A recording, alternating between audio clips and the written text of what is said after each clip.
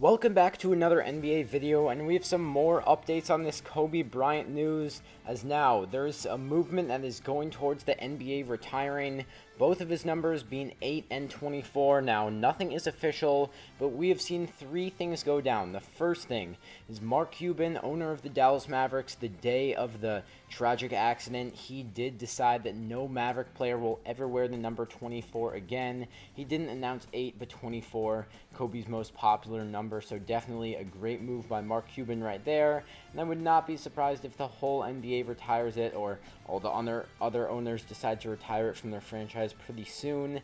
And then we saw Spencer Dinwiddie, number 8 for the Brooklyn Nets.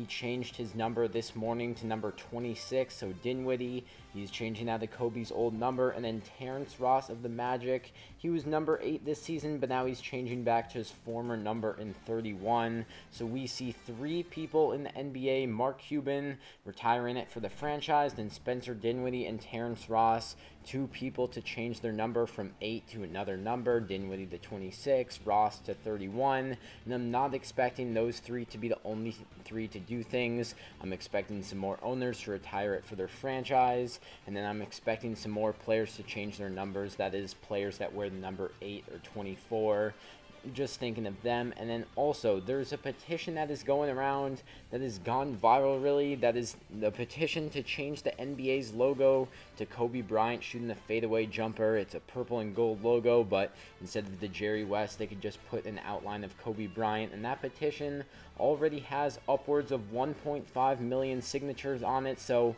I think that would be a great idea. I think that would be a very good way to remember Kobe Bryant and have him in the NBA and part of it forever. He already will be no matter what they do, but it would definitely be interesting if they could change the logo to Kobe Bryant. So let me know what you guys think about all this. Will the NBA officially retire number 8 and 24 for good, or will it just be players and owners making this movement? And what do you guys think about the NBA changing its logo to the Black Mamba?